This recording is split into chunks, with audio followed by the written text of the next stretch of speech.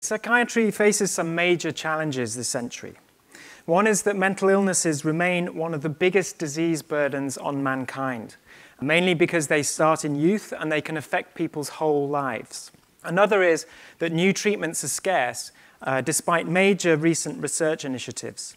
Why is this? Well, many now question some fundamental assumptions in psychiatry, a major one being its classification system, its list of diagnoses. If this is wrong, if disorders like schizophrenia, depression, anxiety are not actually distinct entities with distinct causes, then this will hamper research into mechanisms and treatments. What this means is if the group of depressed subjects that I'm studying is actually a group of patients with four different kinds of mental problems who just look similar on the surface, I'm unlikely to find a treatment that works for any of them.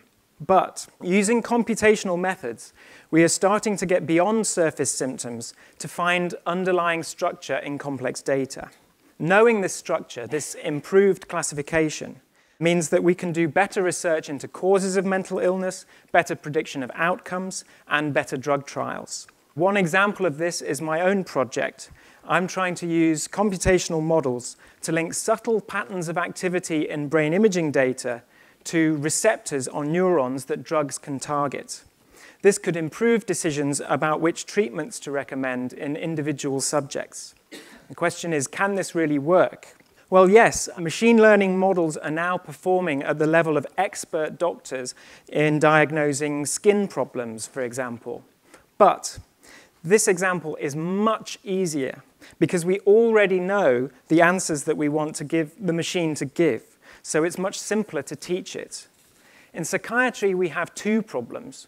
First, we're not even sure of what the right answers, uh, these diagnoses, should look like. And second, the data are way more complex. Uh, there's a big difference between the amount of information in a brain scan and in a picture of a wart. Now, this can be overcome, but we need large amounts of high quality data. This means many detailed measurements of many different kinds of many people over many time points. And this data is hard to acquire.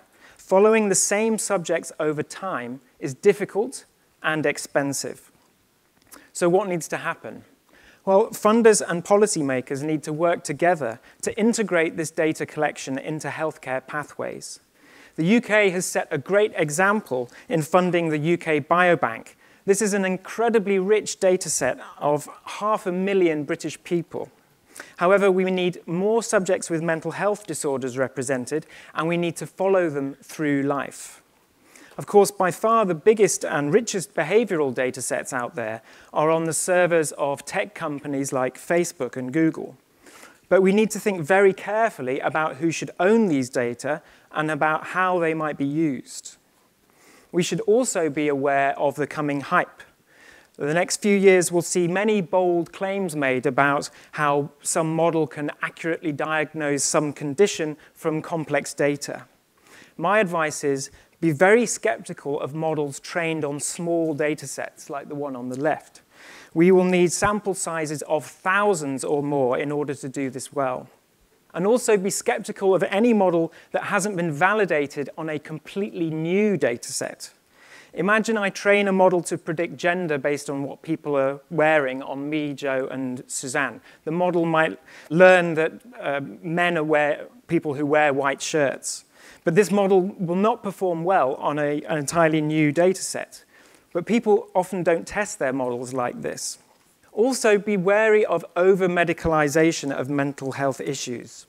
Technology such as brain imaging and machine learning is seductive and it's exciting. But it all implies that the problem is in the individual and that we just need technology to find it. To some extent, this may be true.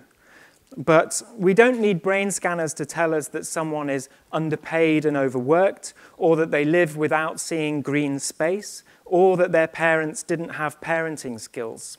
And we don't need computers to tell us what to do about those issues.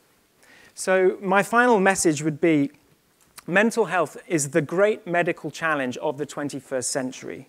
From a neuroscience perspective, we need major funding in high quality data, and hopefully, computational methods will help us link this to new treatments. But equally, we should never lose our focus on improving people's lives.